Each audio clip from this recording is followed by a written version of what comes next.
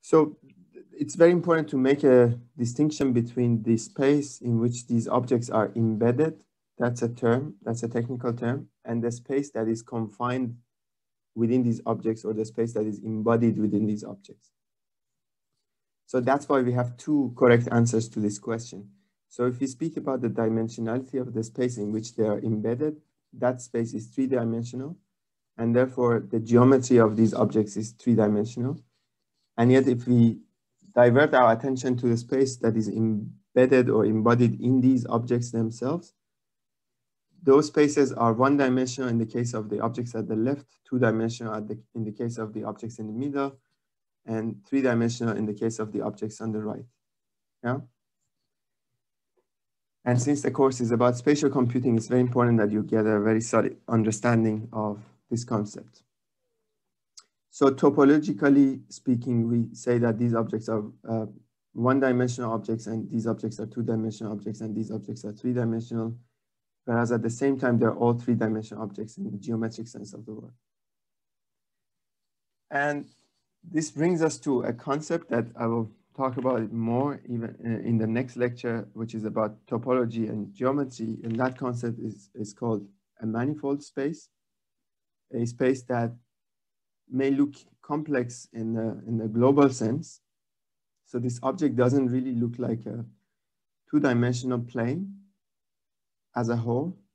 But if you can imagine yourself uh, being very, very small and living on this surface, and this surface being very, very huge, you can, you can imagine that you can draw two-dimensional maps about your surrounding space on this surface.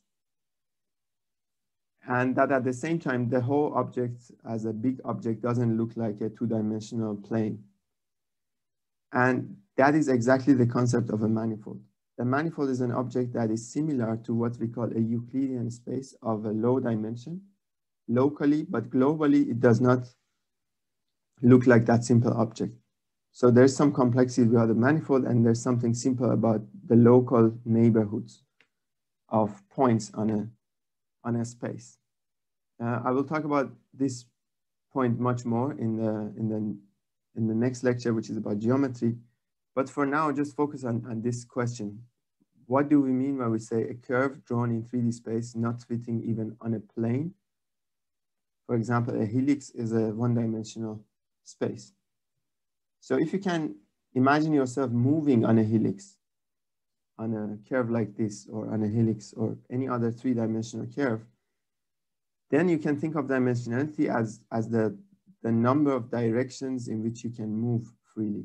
So if you are on a curve, or if you can imagine an ant or a very small animal living in a tube, the the poor animal can only go forward and backward. So the life of that animal is going to be very one-dimensional in that sense. So it's about movement in general, right? However, when you are on this surface, then at every point on the surface, it appears that you have at least two directions to, to choose your movement from. There can be more than two directions, but uh, this concept of two dimensions pertains to the fact that with only two vectors, you can reproduce all other directions at every local position on this surface. That is called linear independence. We can talk about it more if you have questions about this concept. But for now, just uh, accept the fact that for the same reason that uh, in all kinds of maps that we make from the world, there's a kind of a rectangu rectangular representation of space. We are usually talking about the surface of the planet Earth and for that same reason that we have latitude and longitude and X and Y, then we can think of this as a two-dimensional space, at least locally everywhere two-dimensional. And then also imagine a, a, fly flying inside this object, inside the space confined within this object. I'm not talking about the surface of this object. The space inside this object is, is a three-dimensional space. Yeah. While at the same time, the surface of the object or the boundary of the object is two-dimensional. That also brings us to another point, which is uh, another concept, which is called a boundary representation. So pay attention to this fact that we can distinguish these objects by their boundaries as well. So the boundary of this three-dimensional object is a two-dimensional surface. And the boundaries of this two-dimensional object uh, are one-dimensional curves. And the boundaries of this one dimensional object, if any, is going to be a zero dimensional point. Okay. This is quite a mouthful, so let's leave it for the next lecture, but this is the, the geeky definition of what we call a manifold. A, a manifold object is geometrically embedded in a higher dimensional space, but the object itself everywhere locally is topologically homeomorphic or similar to a lower dimensional object. That is a general definition of manifold objects.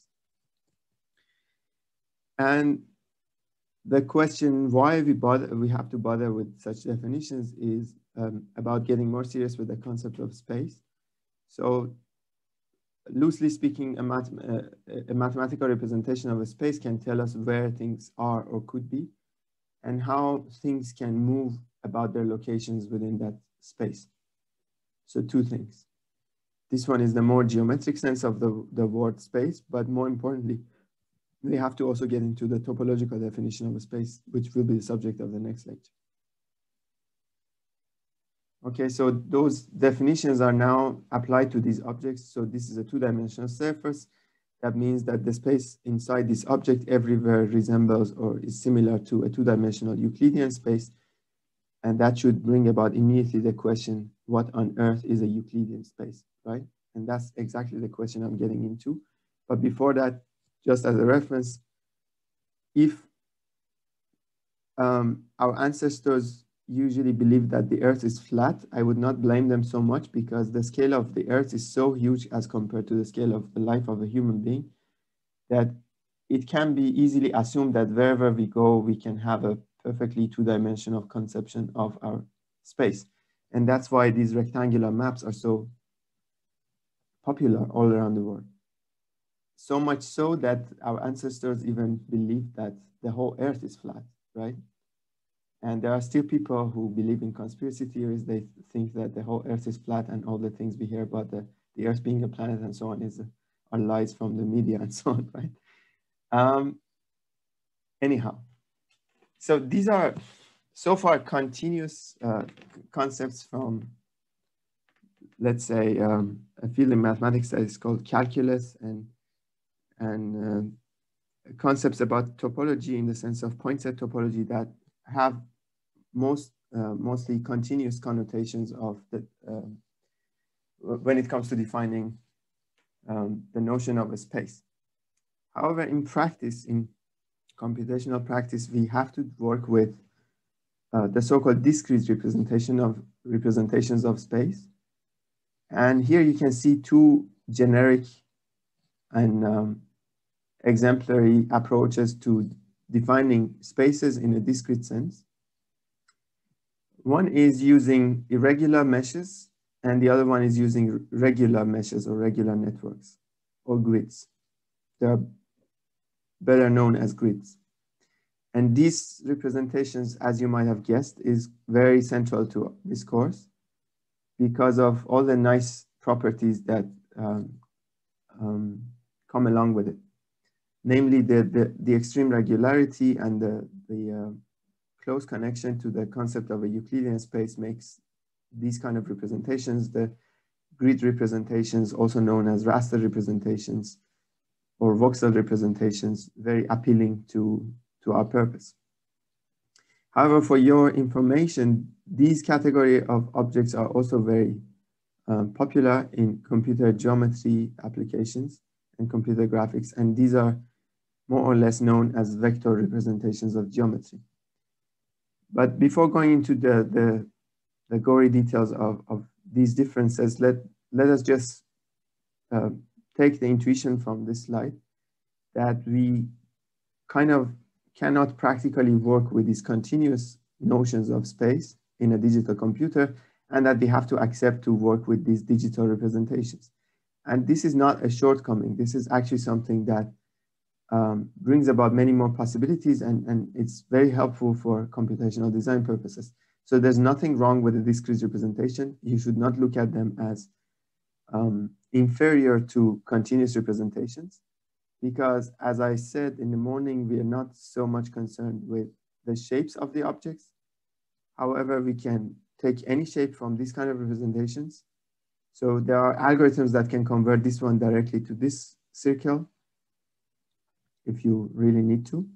But in the meantime, you can more easily decide on the configuration of spaces and you can decide on what to do with every chunk of the space, every pixel, every voxel of the space, and get your um, configuration out of it. Well, um, there's a lot of information here, but um, I, I, let, let me tell you upfront why I bother with these terminologies. The reason is that you're working in a field that is multidisciplinary, to say the least, and you have to get your head around some concepts from different fields, namely computer-aided design, uh, computer graphics, uh, geographical information systems or GIS, and procedural modeling uh, domains and so on. So the terminologies of these kind of fields differ slightly.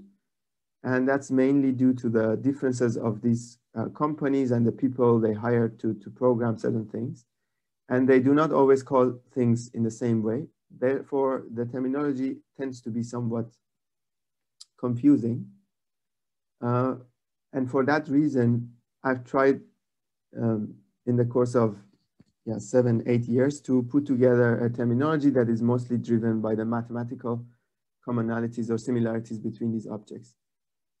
And this terminology might be slightly different from one software application to another. And yet this is the most consistent mathematical terminology that I could come up with, discarding all the technological um, details and differences between software applications. So for now, we'll be bothering with these terms more and more, especially in the, in the context of the next lecture. I will be talking about topological concepts. And in the lecture after that, I will be talking about graph theory and fields. And for now, today, I'm, I'm going to focus on these ones. For now, it suffices to say that when we are in a certain concept, we may be using different terms for objects of a certain dimension. So in the context of geometry, which is the context of this talk, we're talking about points, lines, polygons, and polyhedrons. In the context of topology, we'll be talking about vertices, edges, faces, and bodies, or cells. And in the context of graph theory, which is the most abstract one, we do not need to bother with lines and points. We, we can just think and talk about objects and their links. These objects can even be people. Yeah, the, the kind of representations that we saw earlier today about the bubble charts or bubble diagrams describing spaces in your building. They don't have to be necessarily points in space, like in geometrical space. This is an even longer list of these terminologies to, to just give you the impression that these contexts can even vary within themselves. So there are at least three senses of geometry that I know of, and two senses, two very important senses of topology that, that you need to be aware of, and one sense of these objects with these dimensions in, in the study and the modeling of the so-called fields or uh, raster objects. Yeah. So today I'm going to mainly focus on these kind of representations and these kind of representations, the so-called piecewise linear or vector representations of objects.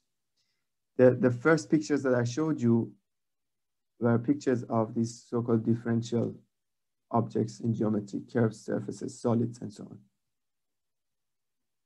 And there's even one more sense of geometry, and that's where I define a turning point for understanding what is the whole concept of dimensionality and what is linear algebra all about, and that is the so-called Euclidean subspaces.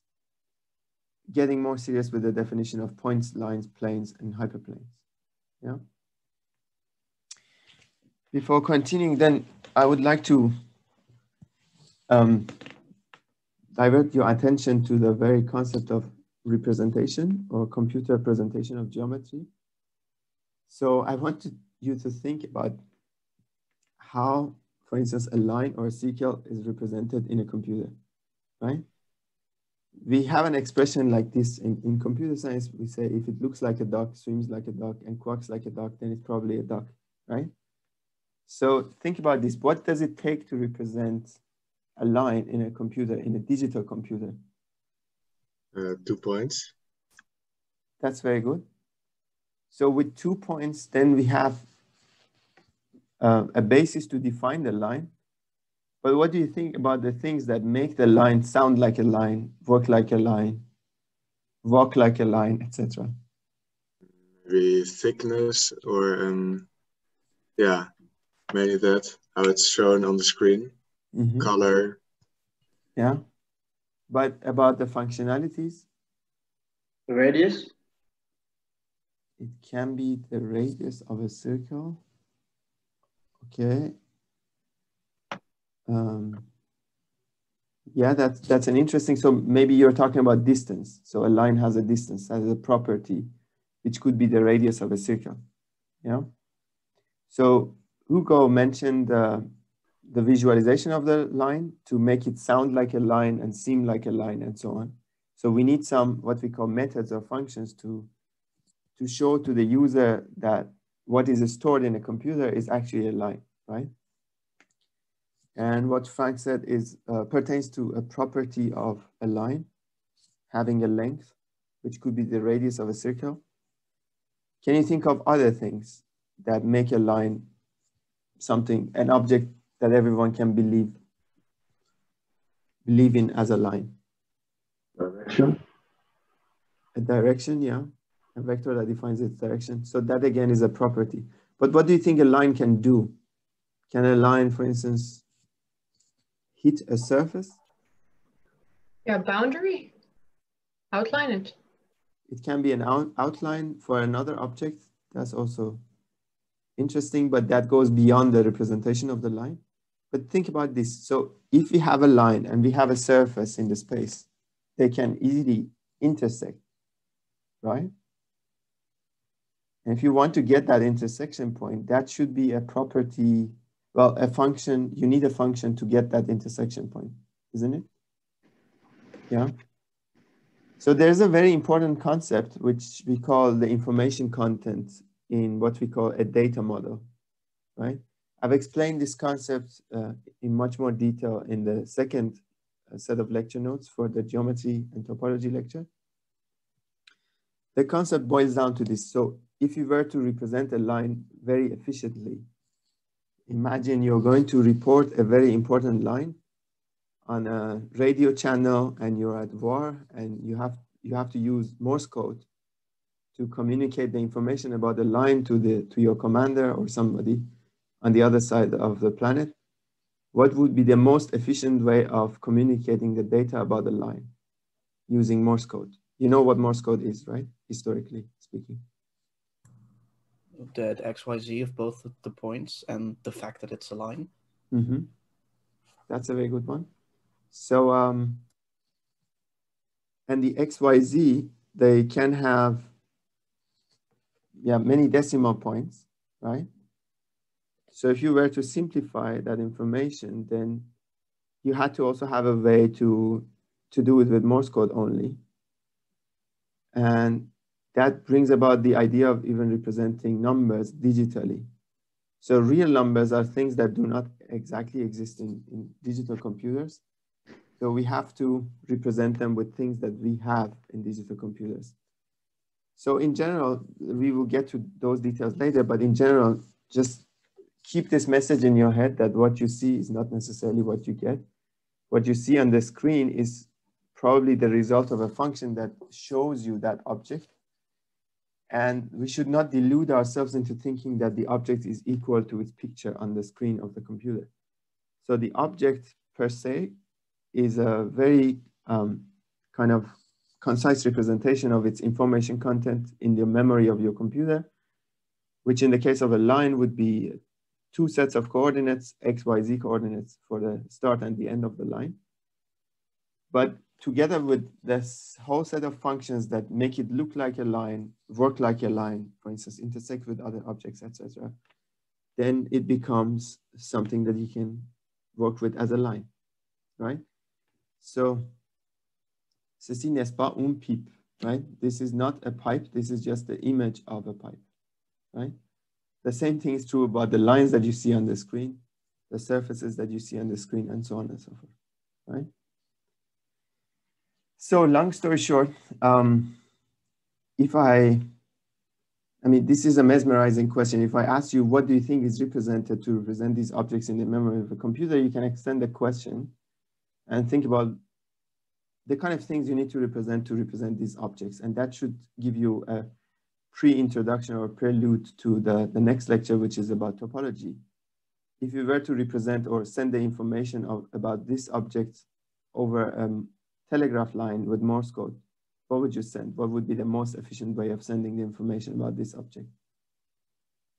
I mean, the exact answer is not so important because there are multiple ways of doing this, but just thinking about this question will activate your mind to think topologically. Okay, that's that's a bit of a fancy word for now, but we will talk about it much more in the next lecture. Yeah. So as I said, we are in the context of this talk, we are talking about these kind of representations or the so-called vector representations. And in the rest of the course, we will be dealing mostly with the so-called raster representations um, of objects with pixels and voxels or Lego blocks, if you will, right? But much more abstractly about what it takes to represent them. So if you were to give it a, a crude guess as to what it takes to represent a set of pixels, what would you say? Maybe a matrix. Perfect answer, yes. So you don't really need to draw all these squares to, to keep a memory of this object. You can also just write it down in a matrix and say you have some ones and zeros, right? So one for every black cell and zero for every white cell, right? So in terms of information content, that would be equal to the, to the pixel image that you see here. And that's exactly what you store in the so-called bitmap images, right? And you can imagine immediately an equivalent of this for a 3D representation. So this one will be a three-dimensional array or three-dimensional um, yeah, matrix, if you will, that we call a lattice. So that is implemented in our toolkit for working with voxel objects, okay? But as I promised, so let me get into the idea of uh, dimensionality uh, more deeply. And so look at these objects once again, a zero dimensional object, a one dimensional object being represented with the so-called vectors, vector represented points on its boundary. And so what all these objects have in common is that they have points whose coordinates are stored as vectors. We'll just get into the idea of vectors in a bit. But for now, just um, pay attention to this fact that this is the reason we call them vector representations because they, they heavily depend on these uh, points that can be freely at least based on an assumption they can be freely placed in the in a three-dimensional space. And therefore, we call them vector representations. Yeah. Again, before gearing up towards the next concepts, let me just uh, ask you one more question. What do you think these uh, acronyms mean? Uh, what you see is what you get versus what you see is what you mean, uh, what you mean. Okay, perfect, Sibran, thank you. So um, do, do you see the connection with these two objects? So computer geometry representation, I mean, has been easy for quite a few years already since 1970s, 1980s. You, you have access to computer-aided design and GIS packages in which you can draw objects. And based on the paradigm of what you see is what you get. You draw a circle, you have a circle, right? And that is nice, but it also confuses people as to the real nature of these objects. So if, if you ask me what, what a circle is, I would say it's a it's a locus of points. These uh, these are some geeky words, but I'll, I'll, tell you how useful these concepts are. It's a locus of points whose distance is to a certain point called a center is equal to a number called radius, right? That definition of a circle is much richer than just drawing a circle because with that definition, you can think about higher dimensional circles. You can think about circles that do not look very circular. That's a surprise. That's a very interesting surprise. So there is even a sense in which a square can be a circle. There is even a sense in which a, a, a rectangle can be a circle in that sense. Just by changing the notion of a distance, then you can get a circle that does not look even like a, like a regular shape. It can look like a, very strange boundary because it's a definition of a locus, which is kind of like a mathematical location of some points which have something in common, a property, in this case, uh, in, uh, is the, the distance being equal to a certain point called the center of that circle, right? So this definition is a much richer concept coming from the so-called Pythagoras theorem, or the Euclidean distance of these points defined by x and y coordinates to a certain point called center. There's an even more general definition of this, just to help you see this more clearly. So it can be x minus x zero of some center squared plus y minus y zero of the center equal to r squared for some number r. Do you see the connection to the Pythagoras theorem? So if this is your point in space and this is your center point, so-called center point, what is common really about all these points on the circle? I think it's not to the formula. Yeah, so at least they can be calculated using the formula. Yeah, so if you form a triangle, a right triangle from the so-called x and y coordinates, so this length will be equal to the y, this length will be equal to the x, and this will be the radius, right? So they all, so what's common between all these points is that they all comply with this formula. And if we badly want to see the circle as a circle, as a nice and continuous circle, then what can we do? What's the easiest thing we can do? Referring back to the concepts we talked about so far. We have this bunch of points and we want to make a nice circle out of them. What do we do?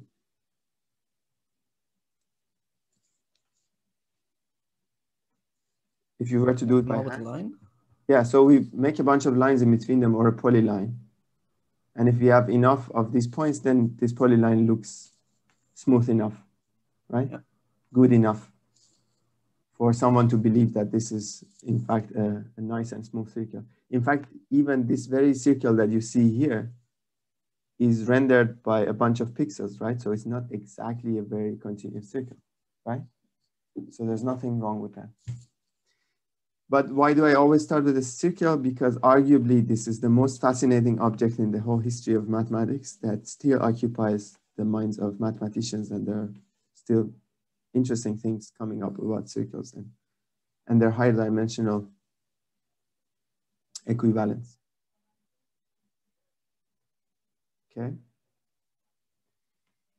And this is yet another representation of a circle using concepts from trigonometry. As a refresher, so well, this is not exactly about linear algebra, nevertheless, it is so central to our discussions that I, I find it useful to remind you of some basic concepts. And I kind of believe that these concepts should be enough to, to get you started.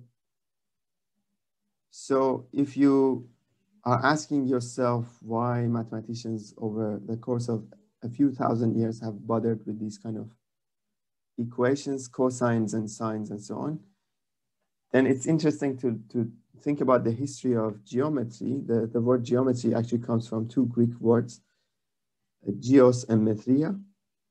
And their, their job, the, the job of the so-called geometers was to survey the land and they were usually at the service of the kings and, and governors, computing how much tax farmers should pay and so on and so forth. But we're not tax collectors anymore. We're just mathematicians now. Nevertheless, it's interesting to know the history, right? So if you want to measure the, the lengths over like a, a, a huge horizon and so on, sometimes you have to guess the size of objects at a distance. And then you start seeing some patterns. So imagine you see some object next to which someone is standing, a person, at a far distance and you can measure the angle at which you see the object. Imagine you have something that is called a sextant, the, the kind of object that navigators and uh, um, marine, marine uh, soldiers have or used to have in the past, right? So you see this object, which could be a building at a far distance, and you want to guess what's the height of this object, right? So if you have once figured out the, the so-called proportions in a triangle once in your life, then you will quickly see, um, based on the so-called Thales theorem, that the proportions in this right triangle are going to be the same as this other right triangle, right? Hence the name trigonometry. So which is about the study of triangles and the so-called trigonometrics. Yeah, so the, the, the metrics that pertain to triangles or the right triangles to be more precise. Yeah.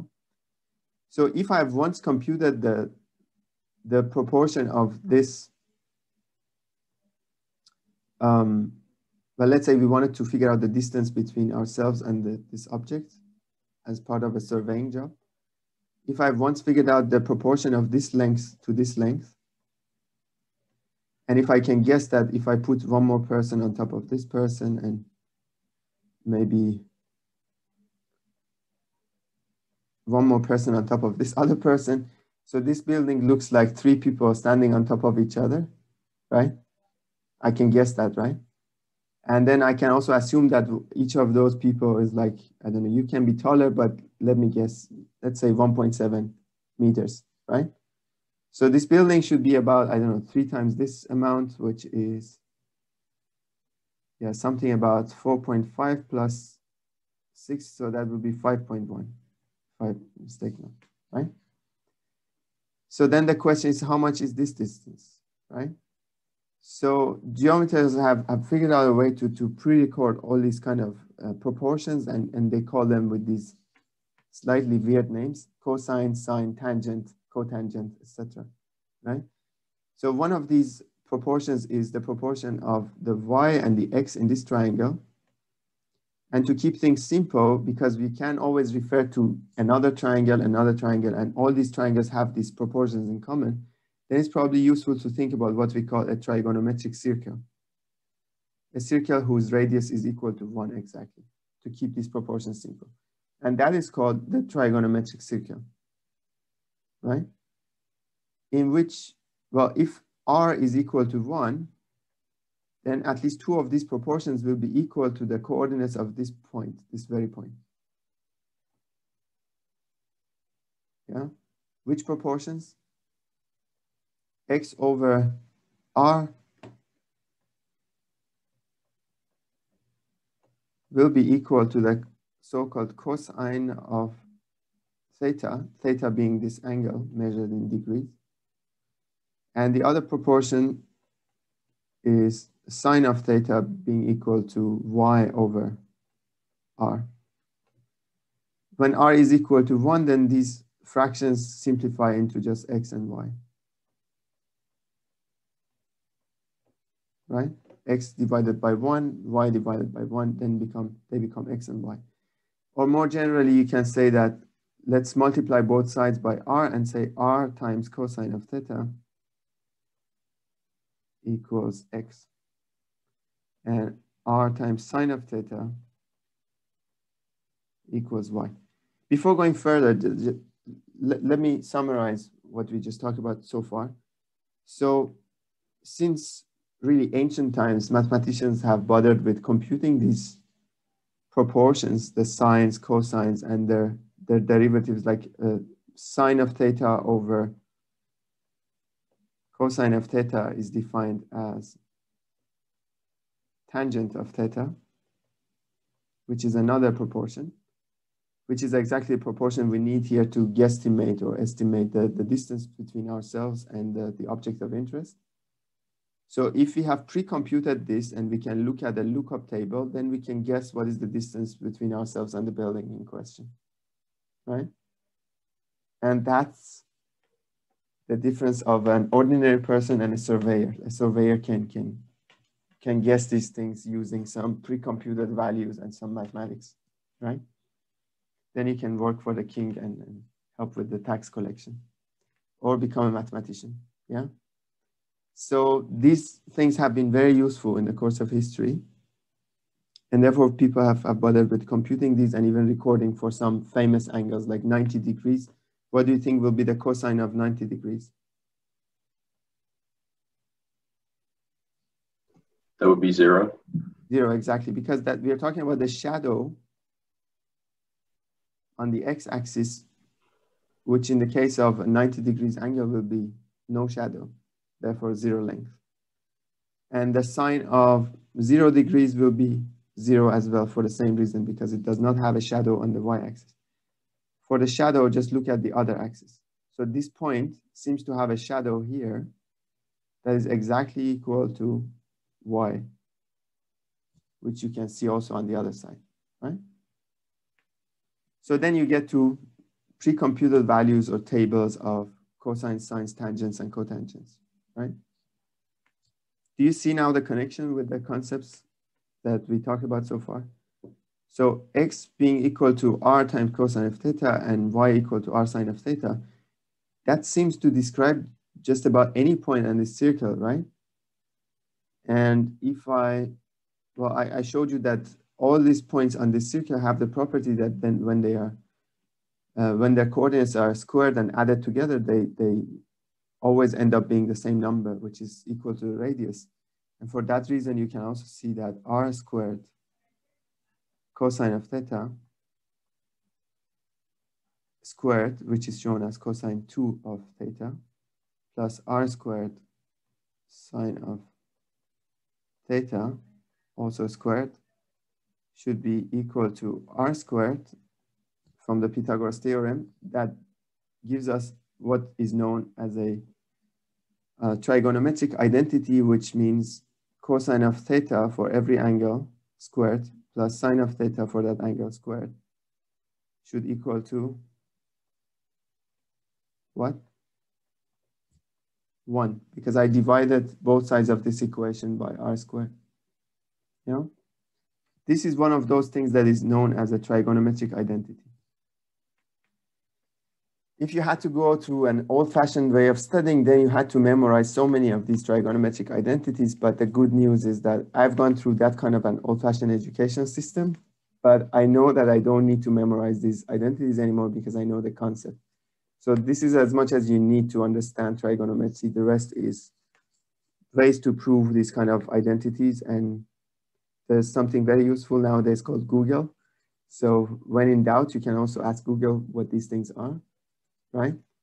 So the concept is more important than, than memorizing these equations and numbers. But there's something more interesting popping up here. Uh, I know we are short in time, but I, I hope that you see what's, what's interesting about this one. So if we describe the points on this locus with these equations, which seem to be quite general, then we can, instead of theta, we can call them with t. So imagine this is the course of someone moving around this circle at every moment in time um, being uh, a number in the range of zero to two times pi, then we can generate some discrete points by saying that t can be equal to two times pi times a number, call it i, divided by n, which is the number of points you want to generate on this circle.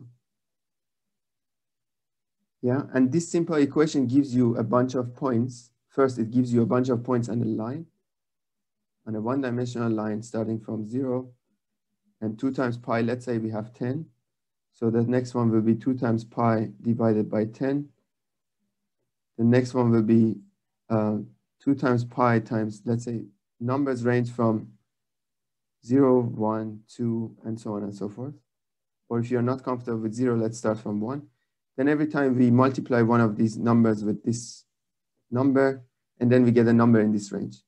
If you map these numbers, if you badly want to see these numbers, you can see them along an axis and seeing that they form numbers in the range of 0 to 1. Does that sound interesting to you? with some numbers ranging in the uh, in the in the interval of 0 to 1, you can generate some numbers ranging in the interval of 0 to 2 times pi. But before going further, let me ask you this weird question. about the number pi, which I'm sure you know what it is roughly. But imagine that we were baking a very large pizza or a very large cake, and I, I told you that I want um, so-called one radian of this pizza or pie. One radian is a measure of angles, which is different from um, degrees. So you know about 30 degrees, 40 degrees, 90 degrees, and so on. But in mathematics, we use a different measurement system for angles, which is called radians. And that's what pertains these numbers to the number pi. So assuming that the whole circle is two times pi radians, if you just accept the definition, how greedy do you think I am about the pizza or the pie when I say I want one radian of the whole pie for myself?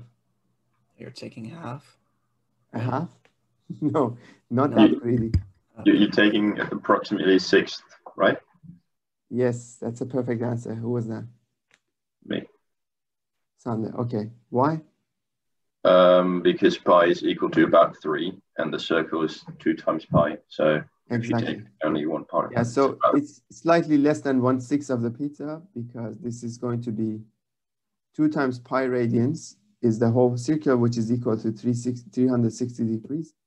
So one radian should be about a bit less than one sixth of 360 degrees, which is more or less 57 degrees or so, something around that number. So if we were sharing a pizza, that would be like this much for me and the rest for all of you together. Yeah? okay. So just get used to the fact that we are going to work with radians as a measurement system. And another interesting fact about the circle,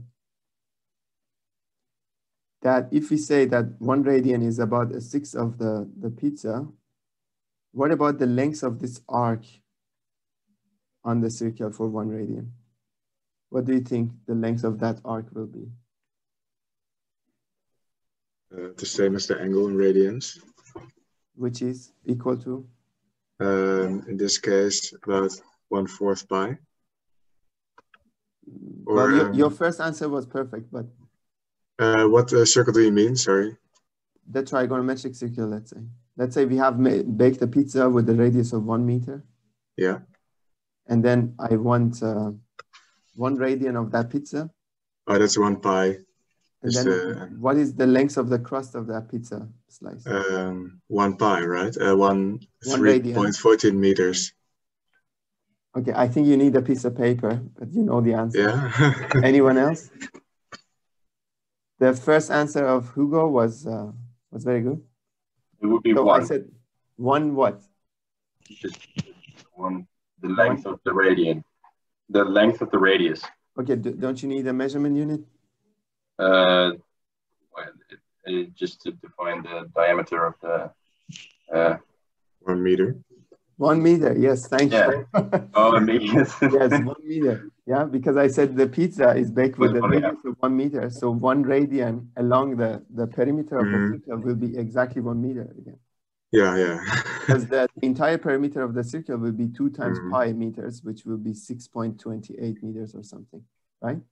Yeah. You can give it a try.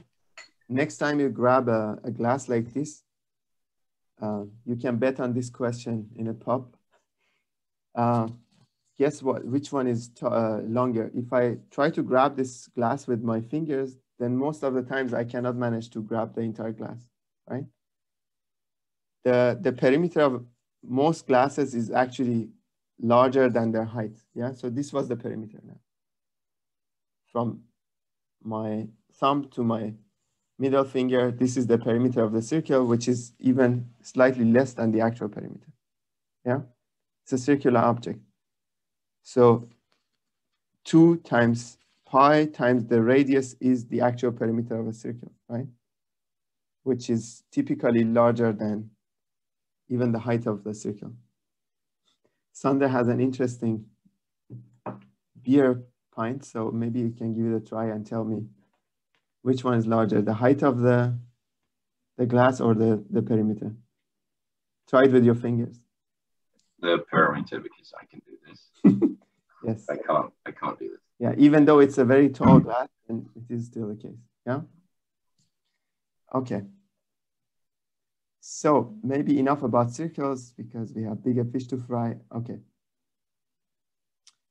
Um, as I said, it's going to be a mission impossible to pass you all this information about this. So that's why I've written the longest story in the lecture notes. So in this lecture, I'm trying to pass to you some of the underlying concepts and you can read about the rest more in more detail in those lecture notes.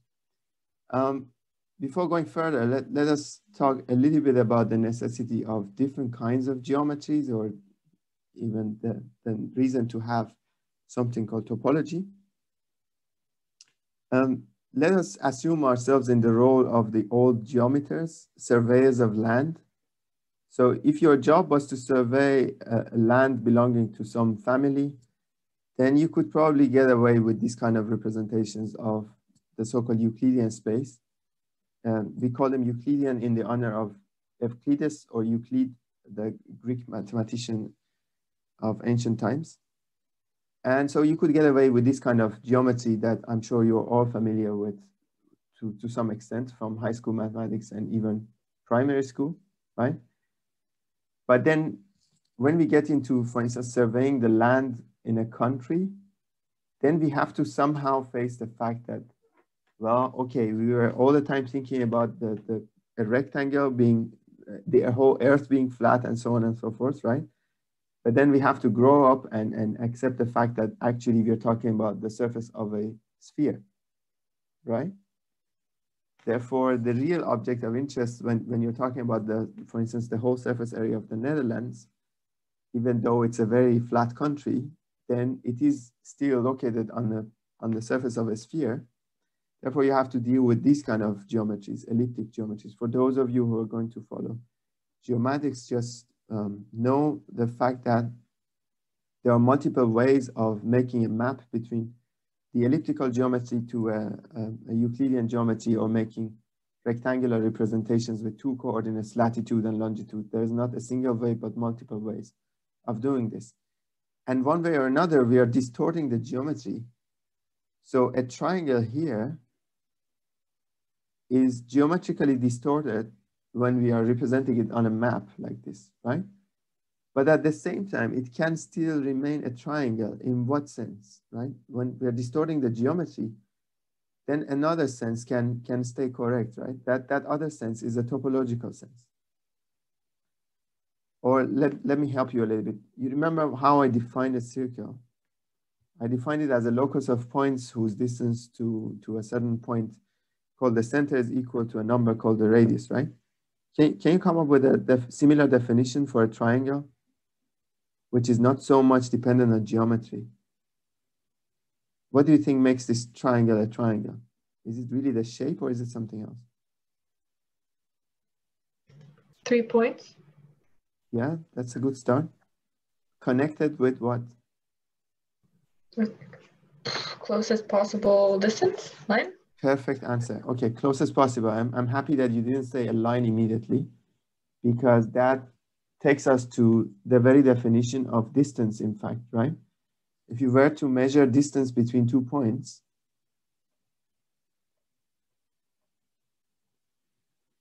is it correct to say that the distance between two points is always uh, the length of a straight line between them? Can you think of a counterexample? say this is where you live and here's a canal or a river or a highway that you cannot pass through, yeah, if you want to live safe. And the only bridge is here. So the closest distance from this point to this point for a pedestrian would be maybe through some alleys and then through this bridge and then here, right? So if I asked you what's the distance between these two points, it wouldn't be the distance between uh, the distance of the length of a straight line, right? That's the distance for crows and other birds. The expression as a crow flies, yes, that is true, right? A crow can, can fly straight from here to here. Therefore, the distance for a crow is different from a distance for a human, right? And so in that sense, it has something to do with movement and, and trajectories, right? So how does this pertain to this triangle here? As Liva said, so we have the shortest path between these two points on the surface of this object that connects these three points together. That makes a generalizable definition of a triangle, which can even look like this on an urban network. So I hope that you're not uncomfortable with this definition, but this can be a perfect triangle as far as I'm concerned on an urban network. You have three points of interest and you have three shortest paths between them. That makes it a perfect triangle as far as I'm concerned, right? With a topological definition rather than a geometric definition, right? And well, long story short, we have to deal with and accept the fact that there are non-Euclidean geometries like elliptic geometry, hyperbolic geometry, and also even more general types of geometry on these kind of other manifolds in which the distance or the metric is defined in some other way. It doesn't have to be the Euclidean distance. Okay, but we have been kind of talking a lot about this gentleman Euclides but kind of avoiding him at the same time. So let me skip a few slides and, and get to this definition of the Euclidean definition of dimensionality and space, and then go back to these slides and get there. And maybe I can, I can manage to go through almost a half of these slides, but I have to also give you a break every 45 minutes. So we are running out of time. So if you want to have a short break, then let's take a break because yeah, we, we're going to have to talk about many more things and I'm not going to make it a very tough one, but I'm okay with continuing if you want to continue. Uh, otherwise, let's have a, like a five minutes break or something like that, right? And I'll be here if you have questions.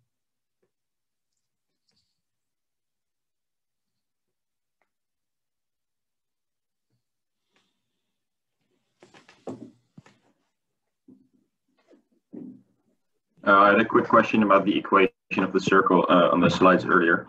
Mm -hmm. uh, I'm not very common with the way to write down uh, things in math. Mm -hmm. So let's see if I can do this. What okay. does, Shall I help you decipher this? Uh?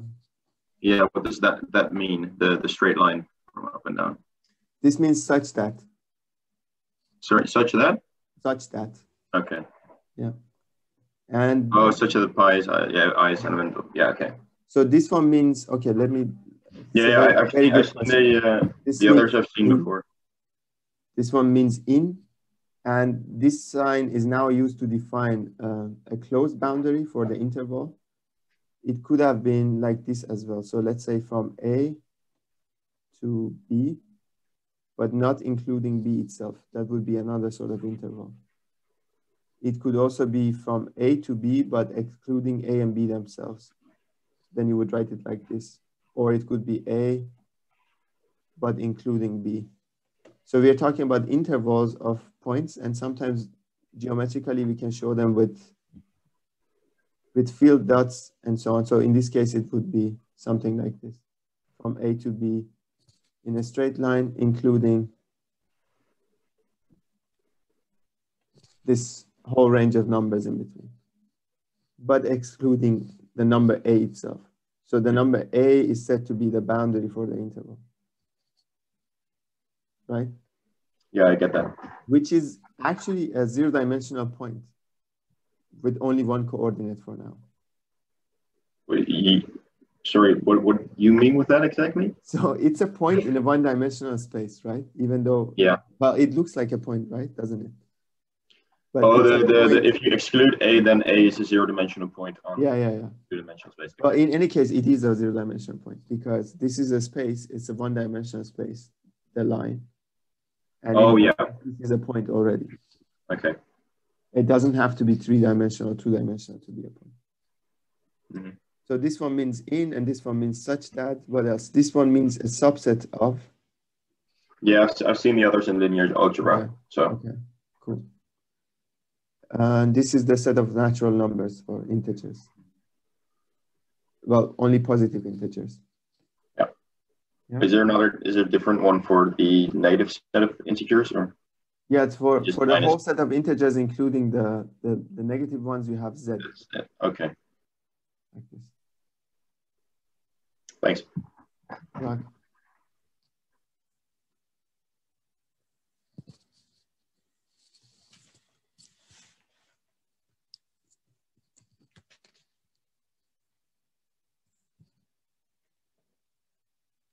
Where, where did you get the course linear algebra? Uh, and the, the, what do you say? Oh. Um, it's electrical engineering. So I got it from uh, Joost, Joost de Groot. Perfect. Mhm.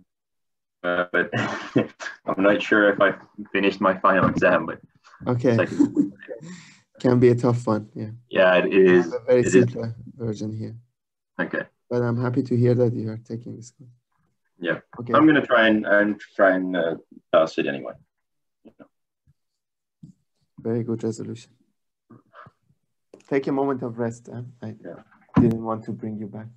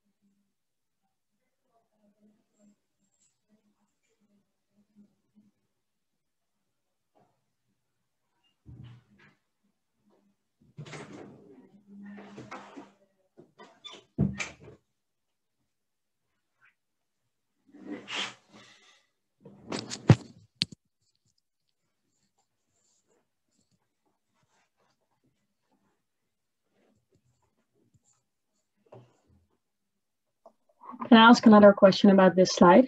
Sure. Um, what do you mean by the, you have like two inputs and one output is circle, but what's the plane input?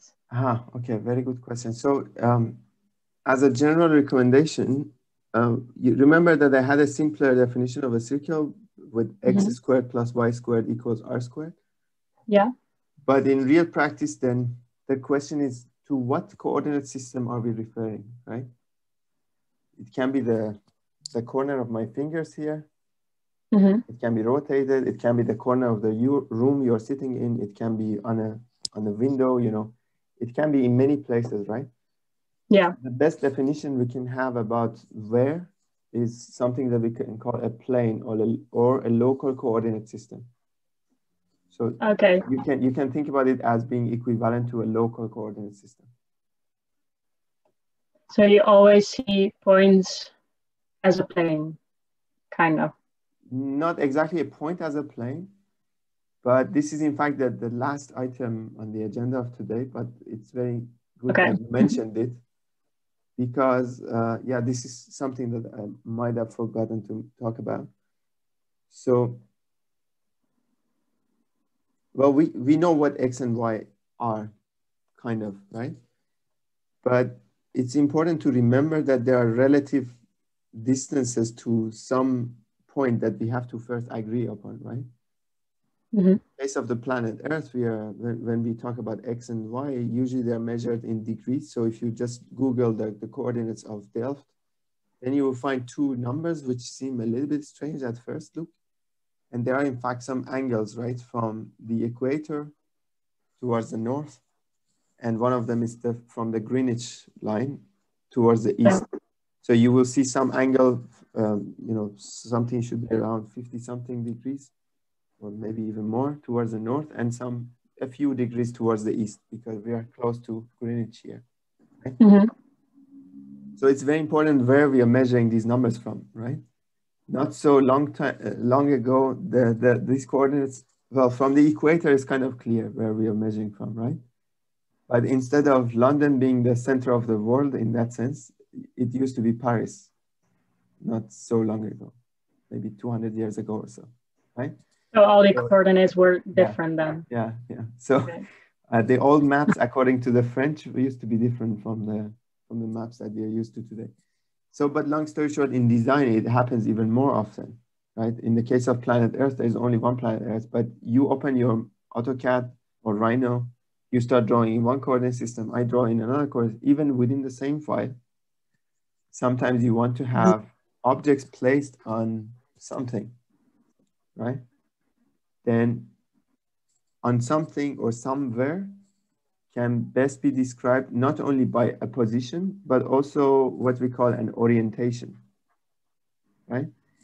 The orientation is something that we can best present with a plane. So there seems to be an orientation on these uh, so-called trigonometric circles. That's what I probably forgot to mention. But thanks to your question, I can talk about it now. orientation is actually what we call the positive trigonometric orientation. If I tell you rotate something on this location, on this plane, 45 degrees, that immediately implies that I mean counterclockwise rotation. That is a convention, of course, right? We had to assume that mm-hmm. one direction is positive, the other one is negative, right? But that, yeah. as far as I know, is the most widely accepted convention. Yeah. Okay. So yeah, there's there's something about orientation on a plane and also the plane being a two-dimensional space. We will get into that. And that sense of a plane is explained also at the end of the lecture notes. Okay. And, um, yeah. Thank you. You're welcome.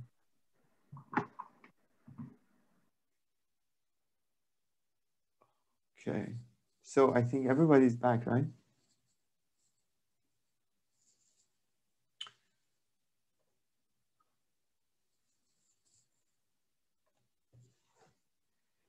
Okay, so let's uh, resume. Um, well, I, I told you from the beginning that linear algebra is, is very much about vectors and matrices and so on in general. And yet this lecture is also partly about the, the fundamentals or the rudimentary concepts about computer graphics and geometry representation in computers. Therefore, there was a long you know, delay to get to this point. But in fact, these objects are kind of like the main things that we have to talk about today. And before making the association between vectors and arrows in your mind, this might be something that you've heard before. I want you to do, to do the reverse and disassociate vectors with arrows, okay? But this, these are only examples uh, of how we can think about vectors and try to get an intuition about how they work and especially in low dimensional spaces, in um, phenomena that we can observe ar around us. So it's, it's just a representation. It's like a, the picture of a pipe. It's not the pipe itself. The, the pipe itself, in this case, is a vector which describes something that we can very, very easily, even more easily than drawing this, we can represent in a computer. That will be a couple of numbers, right? But before we getting into that, let me tell you why this this has been appealing for such a long time in the history of de the development of mathematics. And imagine that you are rowing in a, in a canal or a river and you're not as sporty as Marche is and you run out of power and that you have two friends with their boats who have to kind of pull your boat, right? Well, so the two friends with their boats, they're pulling your boat, well, slightly in these directions actually. So we're talking about quantities, physical quantities that have a direction. In this case, the physical quantity in question is a force, right? And if you were to determine the direction in which your boat will go, and so in this boat, there's March, so this one is going faster than this other one, or with a stronger force. And yeah, so then how do we determine the direction and the, the force with which this boat in which we're all sitting is going, right? That will be a vector sum of these two forces. That's probably the oldest um, context in which vectors have appeared. Mechanics is a branch of physics and, and we're dealing with quantities, physical quantities like, like force. And then it appears that you cannot just add them by numbers, right?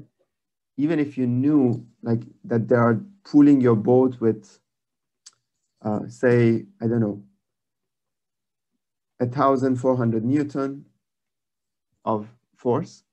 It is a quantity, it has a, a, unit even called Newton. And this one, I don't know, with 1,200 Newtons and so on. Right?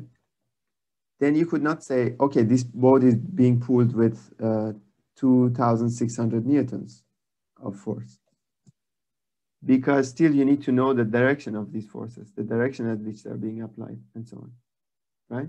So it's not a simple sum like this plus this equals this, right? It appears that something else is at play, which is the direction. And it's also because that the surface of the water in this case is a two-dimensional space in which the vector sum must be the answer.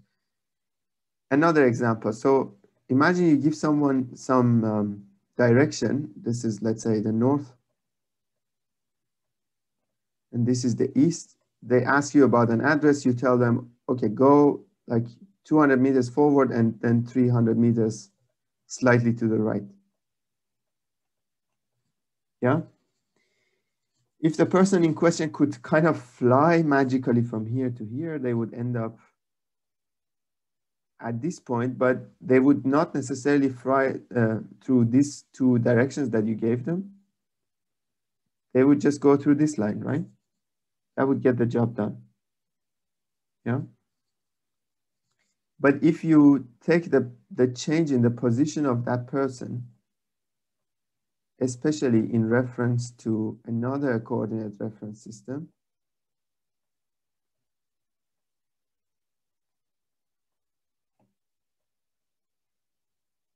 then it appears that this third vector, so if, if we can accept that we can present every single point in this space with a bunch of coordinates, right?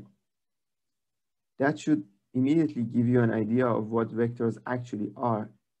They are arrays of coordinates, right? Then if you wanted to get the, the final coordinate after these two movements in space, then guess what you can do? In a computer, when you want to add uh, two vectors or some vectors together, you're not going to draw this picture to give that answer. What are you going to do?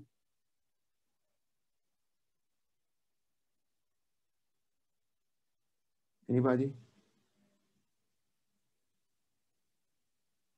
If it's taking you long, then don't worry because it has it took the mathematicians a long, long time to get to this answer. Pythagoras? Sorry? Pythagoras? Pythagoras. Yeah. Yeah, so for people like Pythagoras and Euclid and so on, uh, it took so many years until the time of this other mathematician uh, in whose honor we call this the Cartesian world, right? Who do you think he is?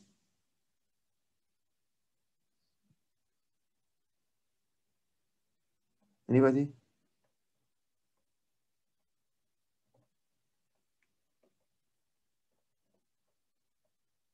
Can you guess?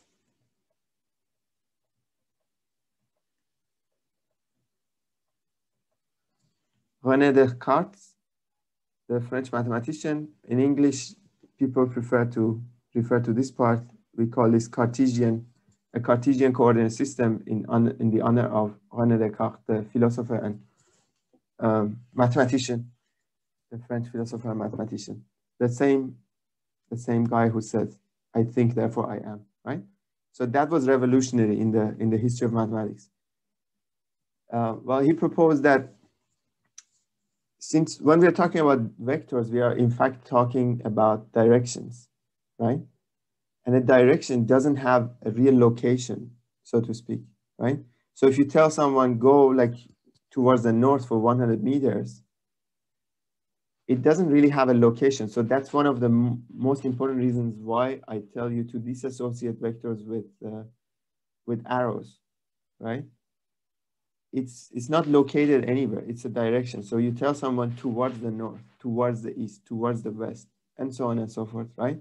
Towards that direction, and you want to give it uh, a definition. And then, but René Descartes figured that um, you you don't actually need to um, all the time worry about drawing these directions. You can actually represent them once according to a coordinate reference system and say, okay, since we're talking about directions, if we were to describe this direction in black, then we could describe it in terms of its constituent directions.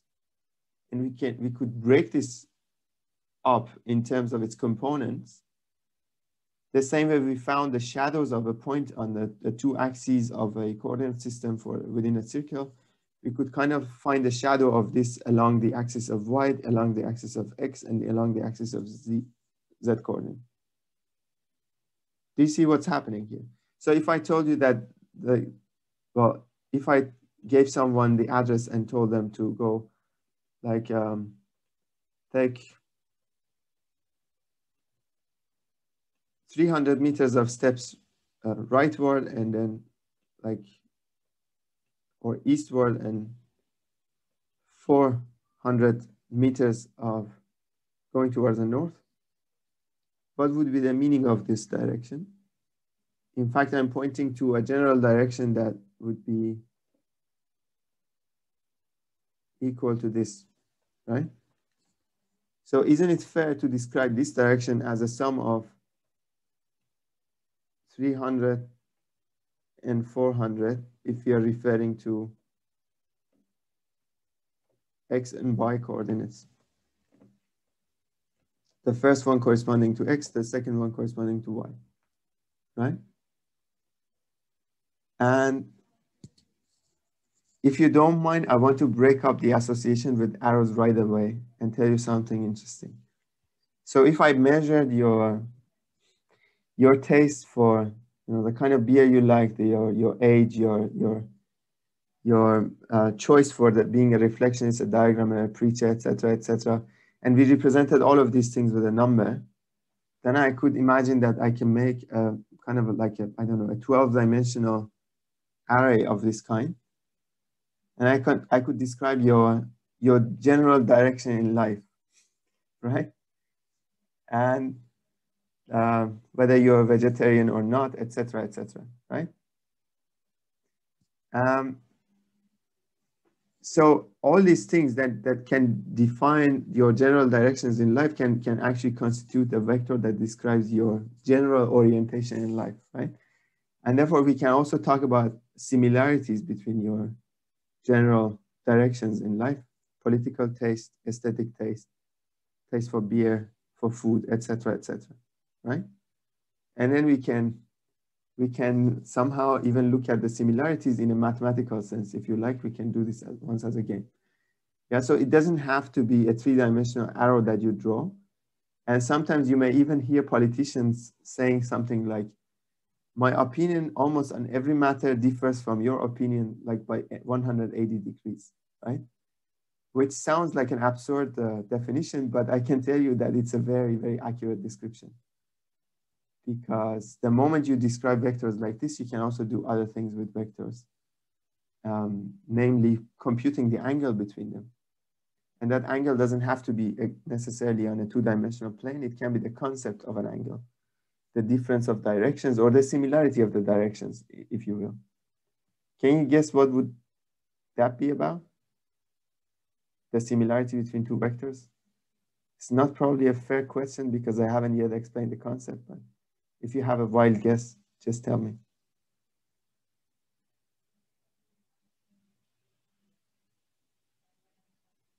Any idea?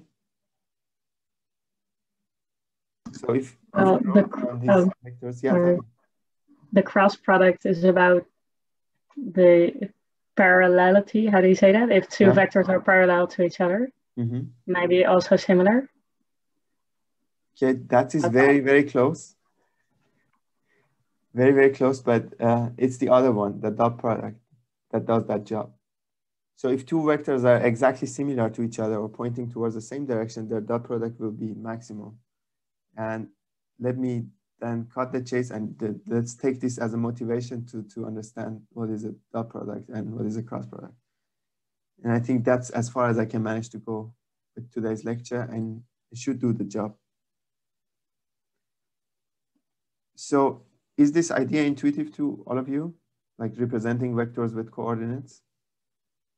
Yeah. And let's, let's get uh, this into our head as the normal definition of a vector, which is about coordinates and, and directions in general. So there are some reasons as to which you might prefer to actually detach vectors from coordinate systems.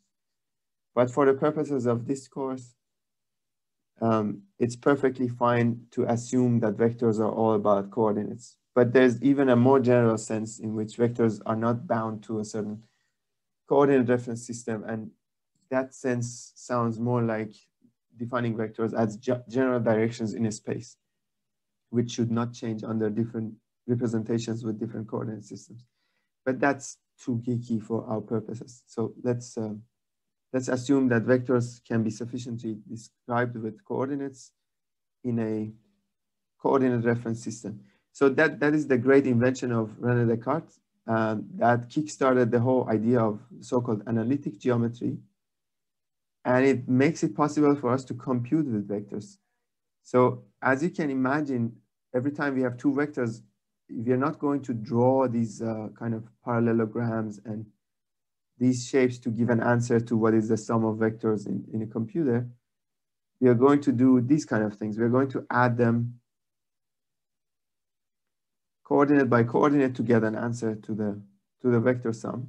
And that will be a perfect answer. So we don't have to bother with drawing shapes, right? So contrary to what many people think, we are not going to draw a picture every time we're going to compute uh, the answer to the vector sum question. And why do we need to compute the vector sum? Whenever we have two forces, whenever we have um, two vector quantities that have to be added together, we need a vector sum.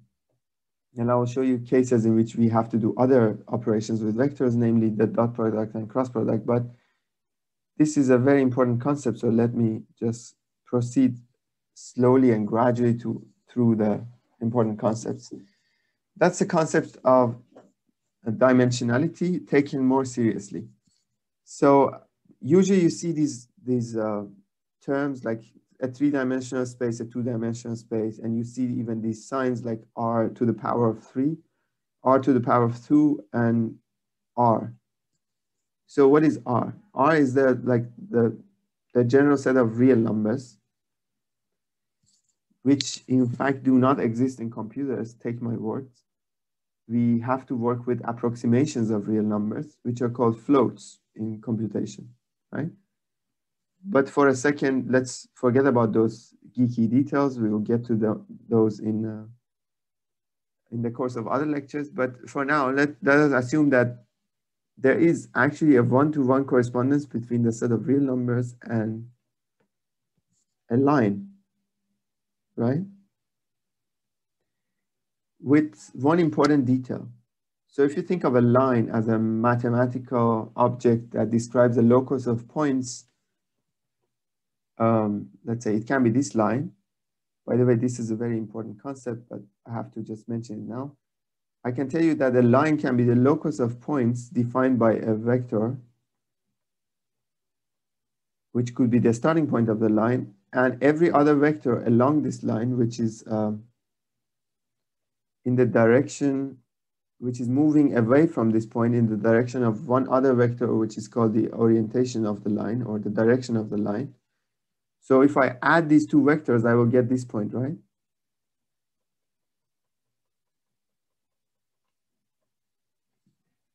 Can, can you agree with that, right?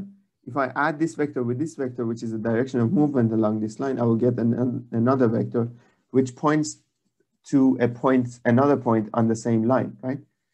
So would it be fair to say that this line in question is the locus of points whose coordinates are defined based on some P0, which is the starting point, plus the direction vector d times some multiplied by some number, let's say alpha. And this d is a vector, this point is a vector. So when we are writing vectors on a blackboard, whiteboard, a whiteboard, or on a piece of paper, I usually draw these lines underneath them to differentiate them from the so-called scalars. Scalars are numbers that do not have a direction. Like two euros, three euros, three euros of depth, negative three euros. They don't have a direction, they just have a sign, right? Those are so-called scalar quantities. They don't have a direction.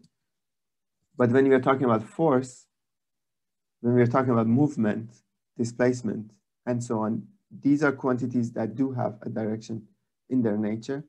Therefore, we have to talk about them as vectors. When we are writing mathematics, then we differentiate them by putting these lines, or when we are typing, we use bold letters to, to differentiate them.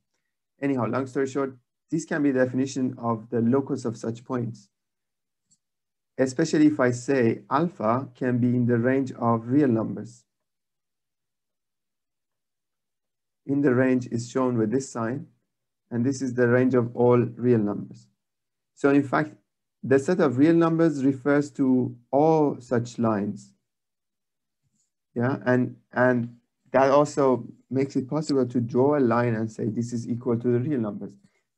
Except for one fact, you need to know where is P0 right?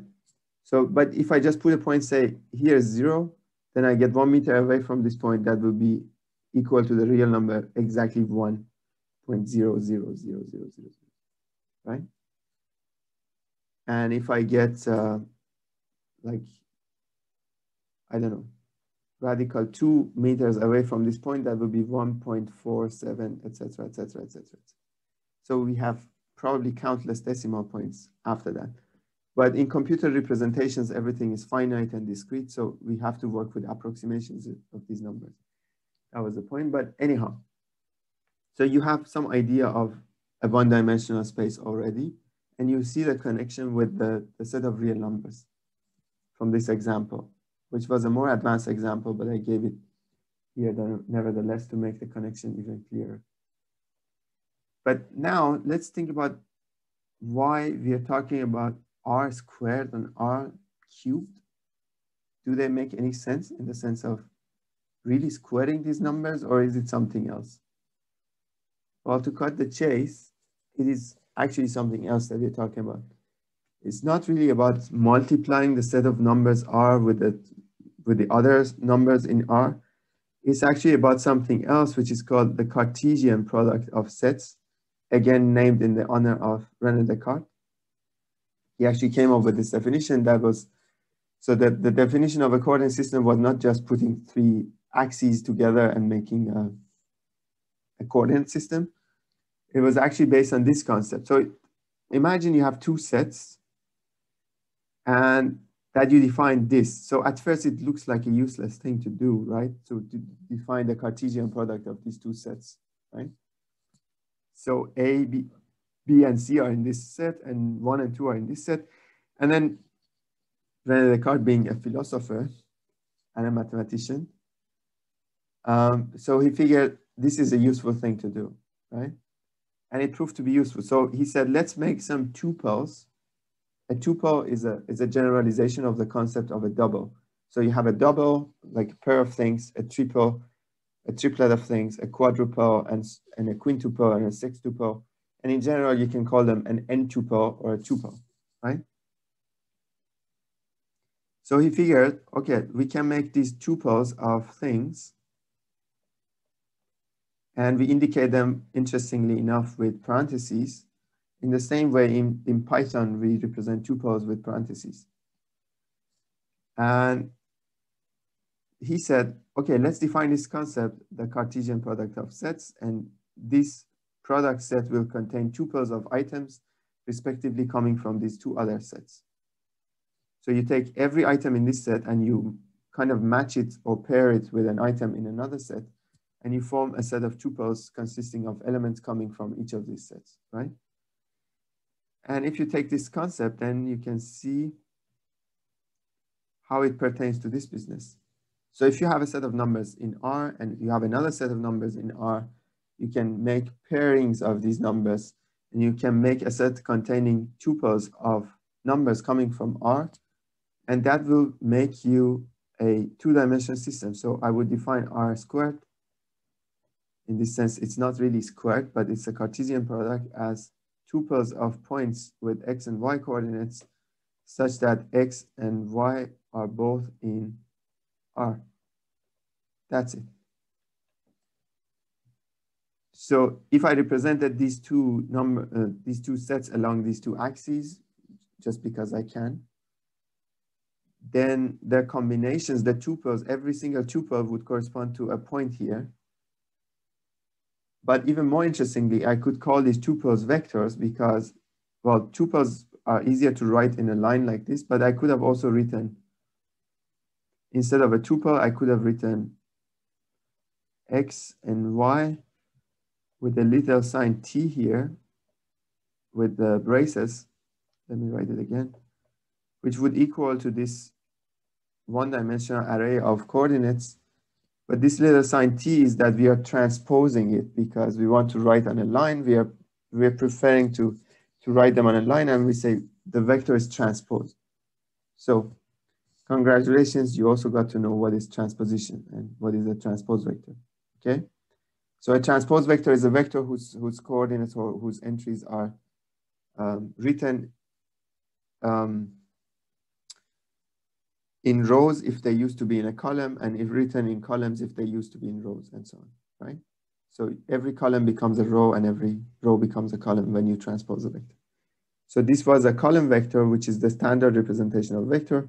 When you write it like this, it becomes a transpose vector. But conceptually, it's almost the same as this tuple, except for one thing. Well, defining something like adding tuples to another and tuple and so on, it's, it's kind of like an arbitrary system. But when we speak about vectors, we are actually talking about some operators that operate on vectors. Remember, what makes a line a line is something that makes a line work like a line, right? So when we speak about vectors, then we are speaking about the things we can do with vectors or the things we're supposed to be able to do with vectors, right? Such as adding them together that's probably an arbitrary thing at the first look, but then you can look at physics and the case of boats in a river or a canal and, and so on and so forth. And then you can see that it's, it's not so arbitrary. It's actually helping us to describe some phenomena with such level of precision. Yeah. And we can predict and we can, we can compute, right? So this is why we call them R squared, R3, and so on. So when we are talking about the Euclidean spaces, we are talking about these kind of supersets. And this concept, interestingly enough, is also the very concept with which we are defining pixels and voxels in terms of the information contents. Because we don't have to talk about the coordinates of their centers anymore. We can talk about some numbers referring to their integer positions, like one, two, and so on it doesn't have to be always r squared. It can also be z squared, z being the set of integer numbers. So if the two numbers coming together are integers, then we will have a pair of integers. Yeah, that would be a point in the space z squared. So this is in fact a definition of the kind of spaces we have been talking about so far. And these are called Euclidean spaces. Yeah. But interestingly enough, well, Euclid is from, I don't know, sometime before Christ and uh, Descartes is, I think if I'm mistaken, not from 17th or 18th century. So it took so long to get to this level of improvement, right? But so interesting enough, interestingly enough, the definition of the Euclidean space is completed with the so-called Cartesian product of sets and Cartesian coordinate systems in modern mathematics. Okay. Are you getting bored? Okay. So, uh, well, as I said, to differentiate what is a tuple of just a bunch of points and what is a vector, then we have to think about the things that have to be done with vectors, such as adding forces together, right? Or, well, this one, we talked about it long enough. And you can also imagine that you can also, one of you, I think Frank mentioned the Pythagoras theorem that directly pertains to the lengths of vectors. And one of the nice things about mathematics is generalization. So the same way you can do it in two dimensions, you can also do it in three dimensions. And even more interestingly, you can do it in n dimensions. So if you go back to the vectors that I told you about, the 12 dimensional vectors describing your taste in food, politics, etc., music, etc., etc., then I could uh, compute the distance, the Euclidean distance between these 12 dimensional vectors and tell you who of you are most similar to, to each other person in the classroom, right? And then I could do one more interesting thing, which would be the dot product between those vectors. And then I could define the angle of difference between your general direction in life. And then you could kind of point out to the person, the most like-minded person in the class to yourself, right? But what, what would that be about? And well, this, this is kind of like a interesting application in artificial intelligence nowadays so the, your supermarket, if you are a member of your supermarket, probably knows more about you than anyone else in the whole world, right? With your choices when you're buying products and so on, you're, you're determining a lot of things about yourself, right? So if they have a long vector of your, of your shopping list, they can pretty much tell you, tell what you will buy the next time you go to the supermarket, right? Um, anyhow, long story short, this was not the original reason why this concept was defined uh, some people think of mathematicians as people all the time playing with the puzzles and so on, which is not so far from reality. But um, another big reason for doing mathematics is physics, in fact. And well, to understand the world around us and, and to make sense of it and to predict it and to engineer it. Yeah. So in that sense, as I've already explained, there are like different sorts of quantities. So physics is about quantifiable things, right? We're not talking about metaphysics, by the way, in this course. So the number of ghosts in this room and so on and so forth, those are not measurable things. But when we are talking about measurable things and quantifiable things, then, um, then we're talking about quantities in general in physics. There are seven elemental quantities in physics, like length, time, mass, uh, the amount of um, molecules in, in matter and so on and so forth, the amount of uh, uh, illumination intensity and, and so on and so on. Anyhow, so some of these quantities are said to be vector quantities. Some of them are even higher dimensional quantities called tensor quantities. But for now, let's talk about vector quantities versus, versus um, scalar quantities.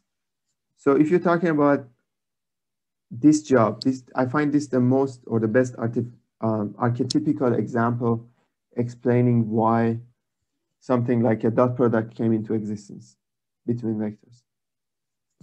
Imagine you are moving from one place to another and you're asking your friends to help you with the, with the moving.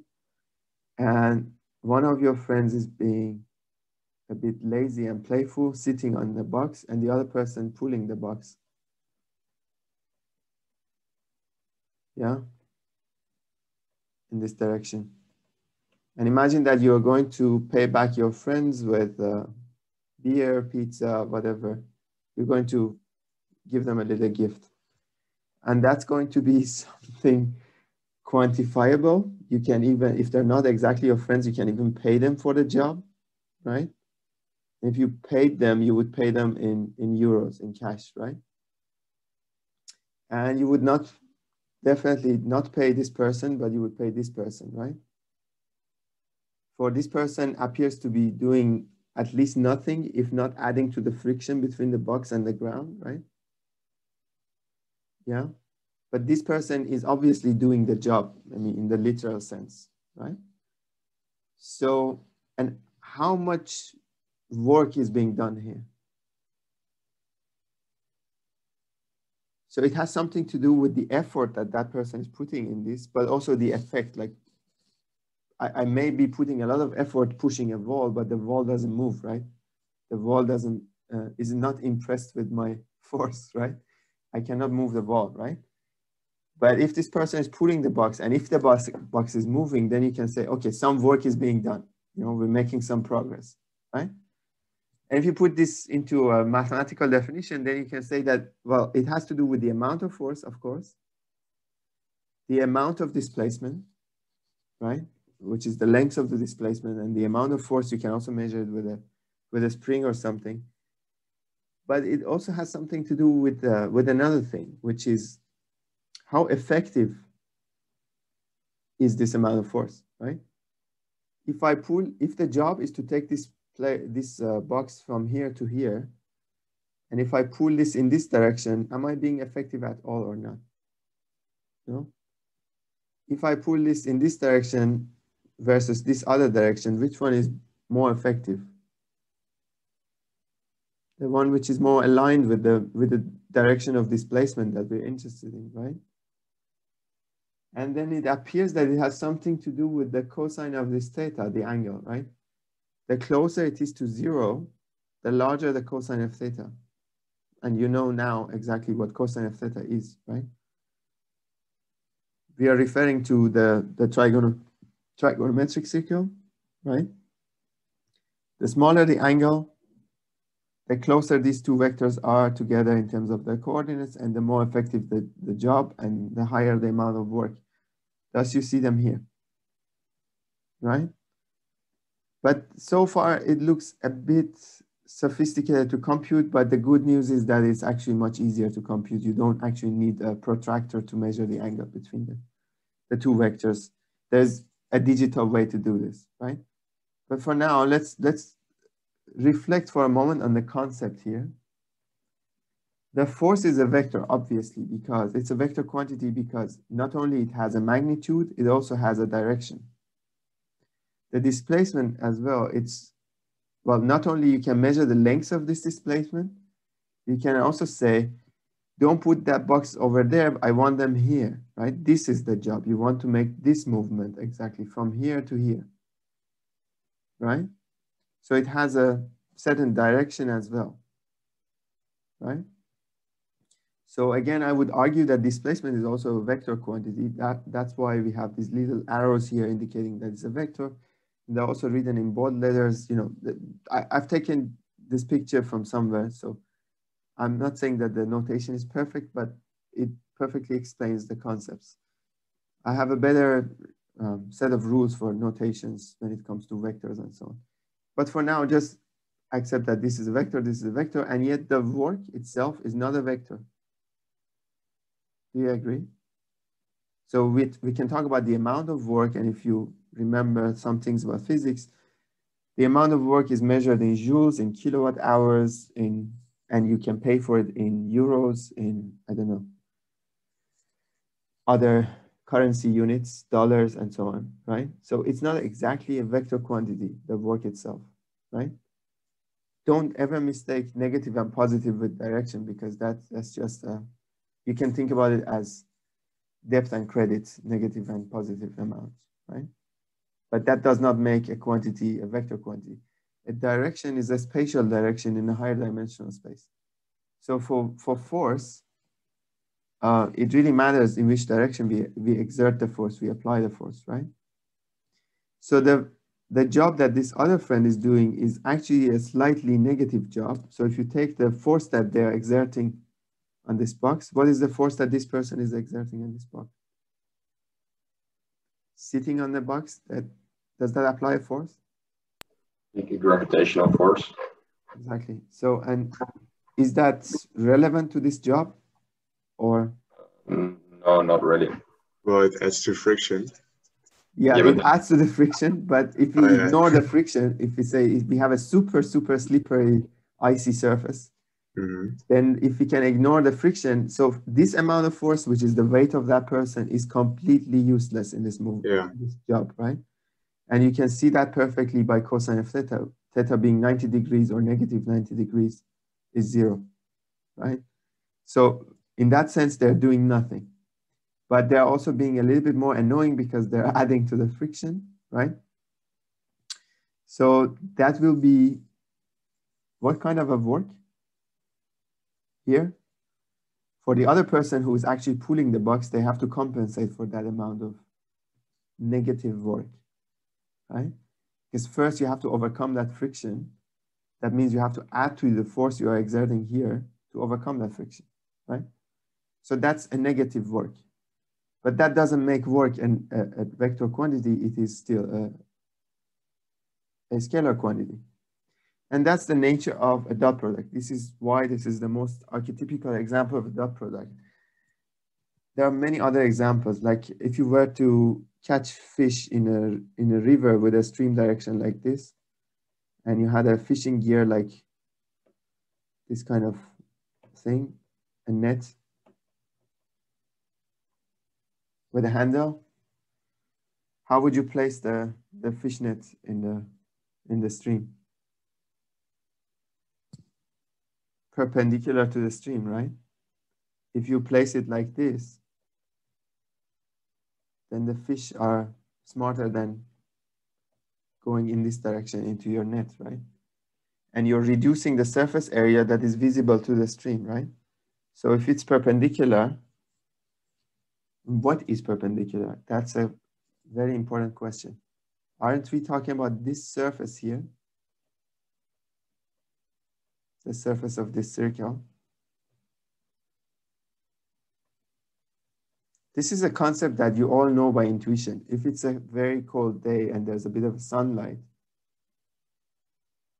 you would try to kind of orient yourself with your with the surface side of your body towards the sun to, to warm up a little, right?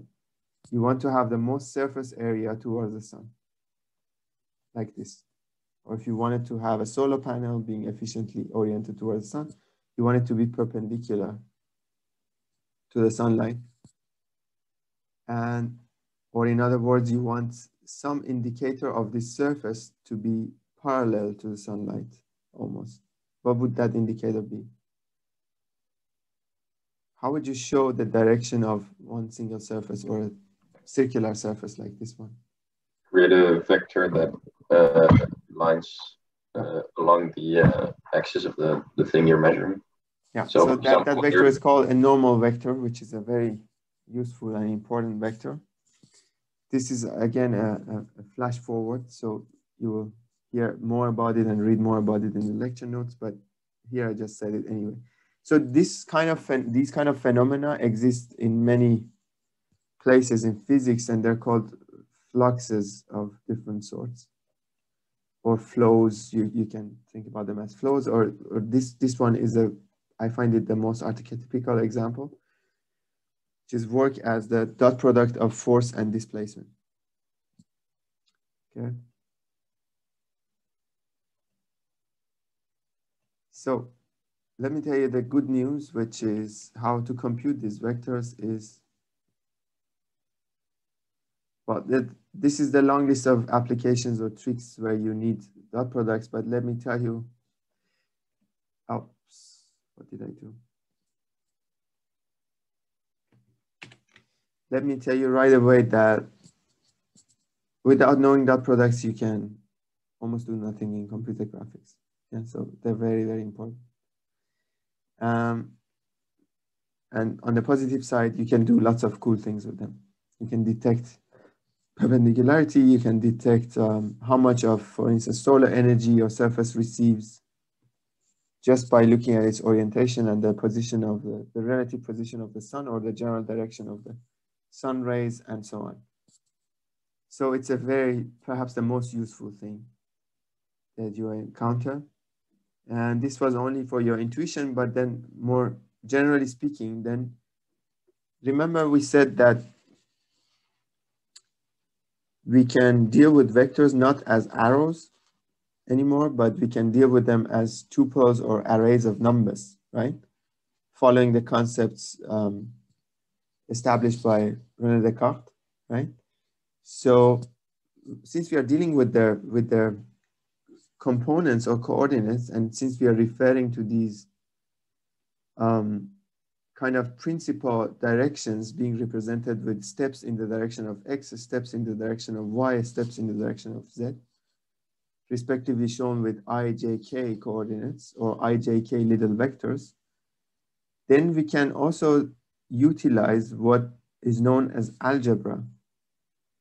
We have broken something into down into, into its components, and now we can use algebra to, to expand these products into the, the products between the constituent elements of those things, right? That's in the essence of algebra. And that's in fact one of the reasons we call this business linear algebra. So what do you think this means here, this description, this humble mathematical description? If A is this big vector, we have described it in terms of a number. Is this a vector? A? It's a scalar. Exactly, so, yeah, this number. is a scalar, but this one is a vector. What do you yeah. think it looks like? It's a unit vector, so um, one, zero, zero. Exactly. So this is a vector. This one is a vector, which is zero, one, zero. And this one is a vector, which is zero, zero, one. Right? So A, B, and C end up being scalars, right? So now if we if we just do this, say, let, let's figure out what will be the dot product of i and i, j and j, k and k, right? Just following our intuition. So i and i are perfectly aligned with each other. The cosine of theta between them will be one because there's an angle of zero between them, right? So i dot i, j dot j, and k dot k work out to be one, exactly one. Pure and simple, right? And therefore, for the same, for the very same reasons, the angle being 90 degrees between i and j, j and i, j and k, k and j, k and i, i and k will be 90 degrees. Therefore, the dot products between all such elements will be zero, right? That's very good news because then if we expand these sums into these kind of um, products, then we can then we can rewrite the dot product in terms of the, the, the products of the constituent, uh, the corresponding constituent elements of those vectors summed up together. This means that we have a very, very fast algorithm computing the dot product between two vectors. Um, so you, you given two vectors, you get their coordinates and or their entries or the components, and then you multiply them with each other, and then you sum up the, the, the products and that gives you the dot product between the two vectors. And interestingly enough, that should also be equal to the lengths of these two vectors multiplied by each other times the cosine of theta. You also know how to compute the lengths of each vector using the Pythagoras equation generalized in 3D, right? So if I asked you what is the most efficient way of computing the angle between two vectors, what would you say?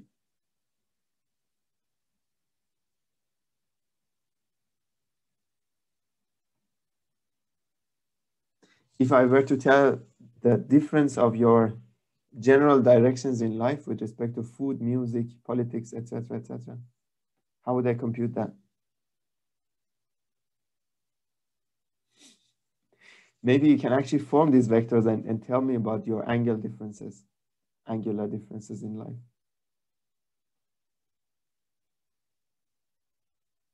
The answer is on, on the screen, so just tell me how to do it. Could you repeat the first, first part of the question? Like, how do you calculate the, the angle between two vectors? Is that the question? Yeah, yeah, yeah. Using using the uh, calculation, well, you could, for example, take the dot product mm -hmm. uh, and then uh, divide by uh, the length of A and B, and you would yes. get the cosinus of uh, theta. Yeah, so you get the cosine of theta, and then a very interesting fact. There's something called a cosine inverse.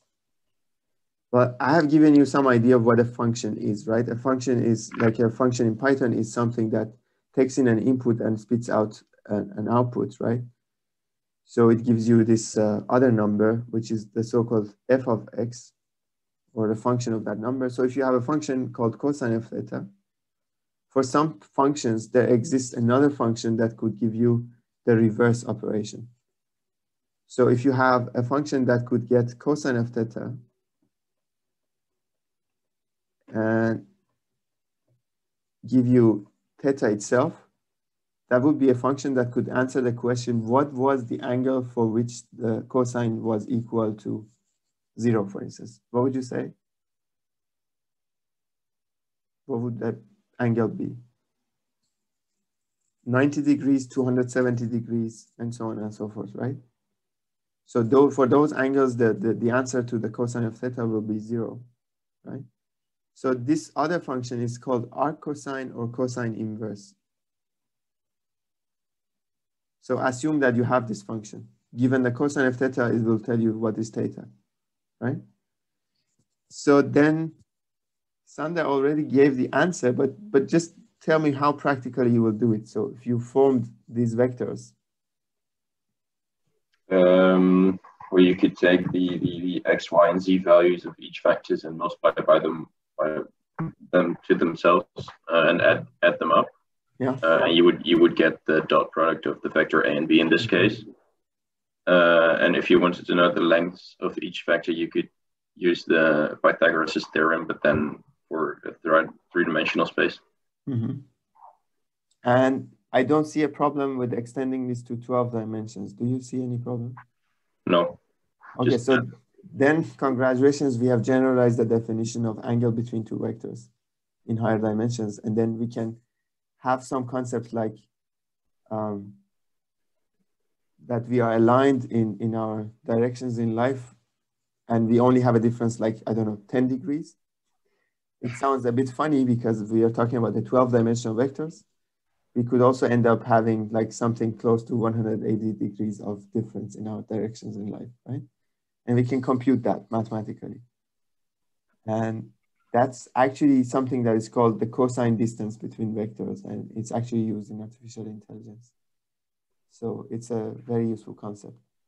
So as I said, th these are some of the nice things about mathematics. They usually nicely generalize to higher dimensions, provided that we started with uh, like solid enough definitions, they can oftentimes generalize rather easily to higher dimensions and more complex situations.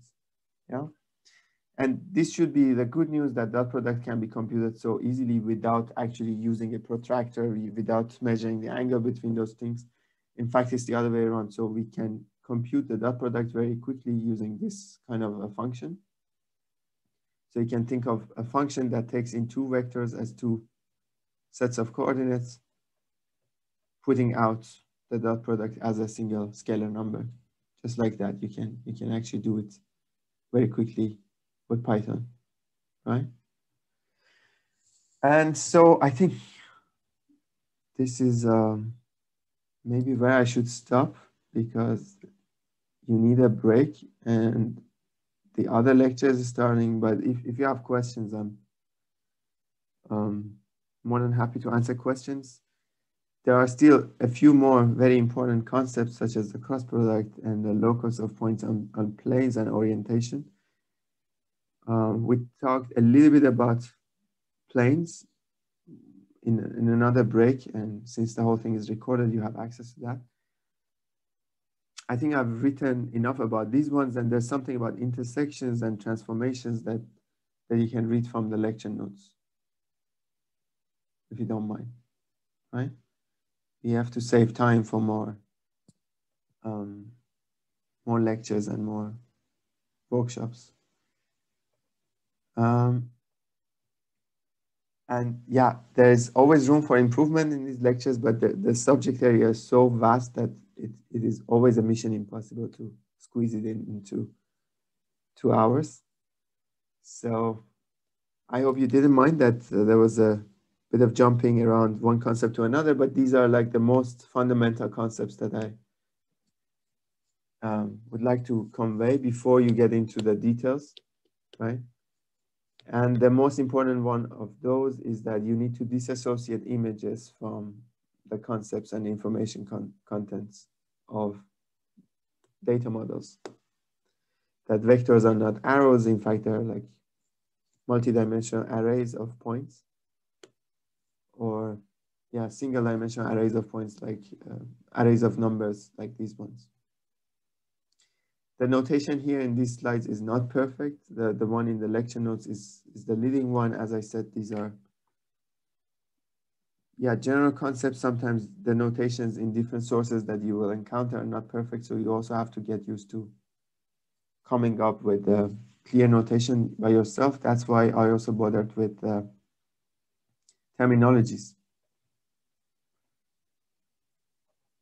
So, okay, then I have to really stop and answer questions.